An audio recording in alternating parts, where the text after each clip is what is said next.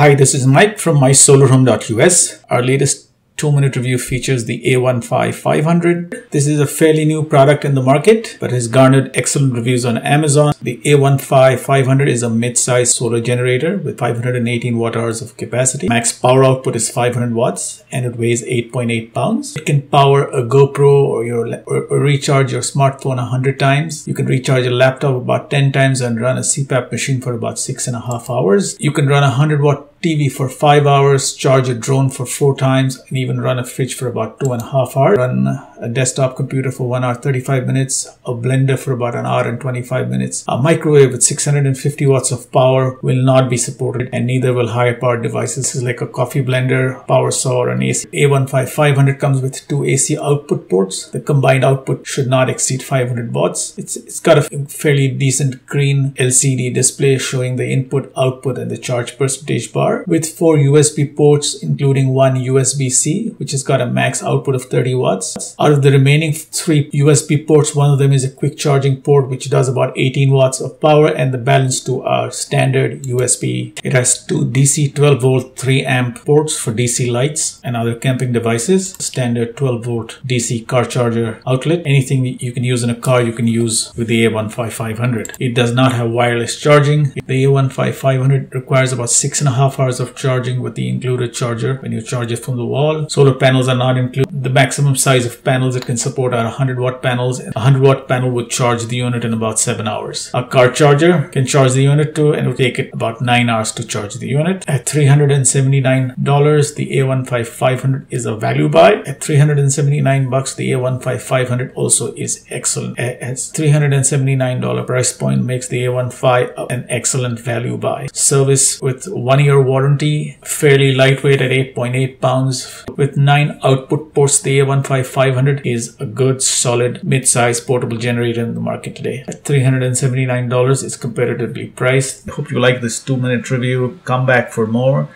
Please like and subscribe. Have a great day.